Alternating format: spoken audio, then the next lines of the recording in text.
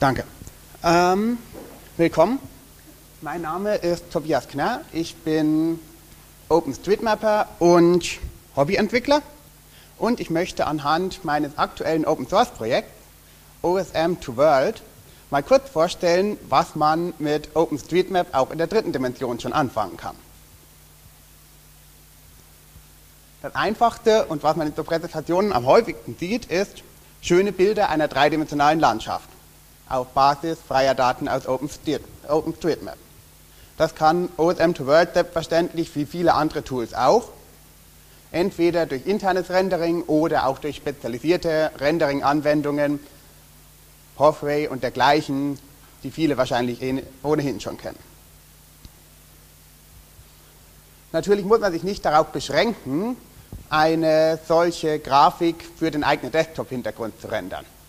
Der nächste Schritt ist dann, eine geeignete Projektion zu wählen, um diese Modelle in zweidimensionaler Form, beispielsweise als orthografisches Rendering, in Kartenkacheln in einem Standard-Toolkit wie OpenLayers visualisieren zu können. Dafür benötigt man in der Regel die Möglichkeit, die Erstellung solcher Bilder zu automatisieren. Und OSM2World ist eine der Möglichkeiten, um so etwas mit einem Kommandozeilen-Interface hinbekommen zu können. Die volle Bandbreite der Möglichkeiten dreidimensionaler Modelle hat man aber nur, wenn man sie nicht einfach in ein zweidimensionales Bild presst, sondern tatsächlich geeignete dreidimensionale Formate dafür anwendet. Hier sieht man ein 3D-Modell importiert in den Open Source Modeler Blender.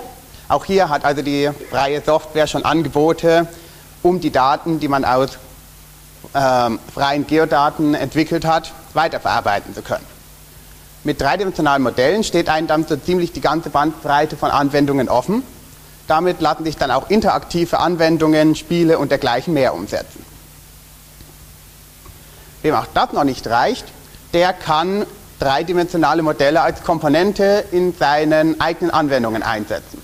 Das können Anwendungen für den Enduser sein, wie eine Navigationsanwendung, oder es kann auch eine Anwendung für Erfasser von Geodaten sein.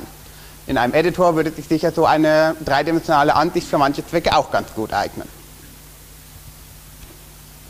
Ich hoffe, dass dieser sehr schnelle Überblick dem einen oder anderen vielleicht jetzt eine Idee gegeben hat, was man mit OpenStreetMap und freier Software außer den üblichen Verdächtigen wie Karten- und Navigationssoftware noch anfangen könnte.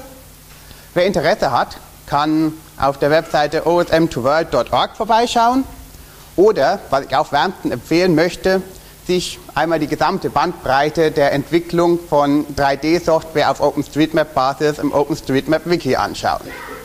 Dazu ist eine gute Übersichtsseite unter dem Stichwort 3D-Development auf wiki.osm.org zu finden. Falls es weitere Fragen gibt, meine Kontaktinformationen findet man auf osm2world.org oder ich bin natürlich auch noch die weiteren beiden Tage hier in Heidelberg auf der Konferenz und freue mich auch über direkte Fragen. Vielen Dank für die Aufmerksamkeit.